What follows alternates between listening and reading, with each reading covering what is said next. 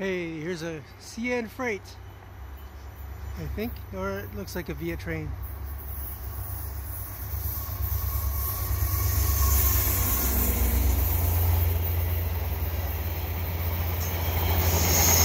Oh, cool, with a dome on it.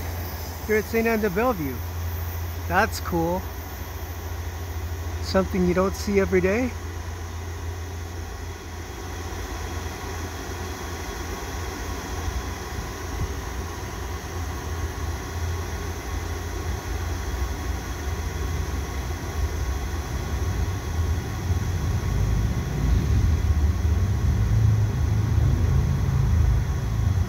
I was just about to leave too.